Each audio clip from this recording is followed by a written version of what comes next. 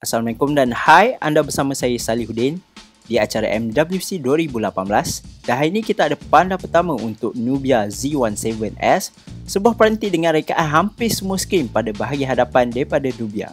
Dari segi spesifikasi, ia dijana dengan pemproses Snapdragon 835 memori sebesar 6GB RAM dengan storan 64GB ataupun 8GB RAM dengan storan 128GB dan bateri berkapasiti 3100 mAh.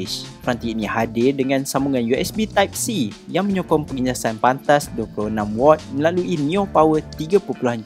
Meskipun peranti ini tidak hadir dengan bicu audio, namun ia telah menyertakan penyesuai Type-C ke bicu audio 3.5mm bersama peranti ini.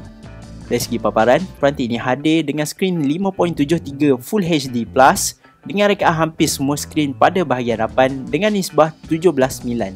Pada hadapan peranti ini, terdapat dua buah kamera 5MP f2.2 yang menyertakan sokongan mengambil gambar potret dengan kesan bokeh.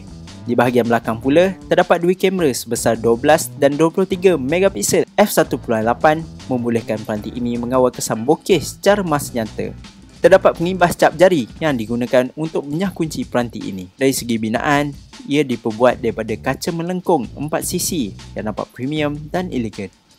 Terdapat dua warna yang ditawarkan untuk peranti ini iaitu biru atau hitam yang masing-masing hadir dengan kemasan berwarna emas.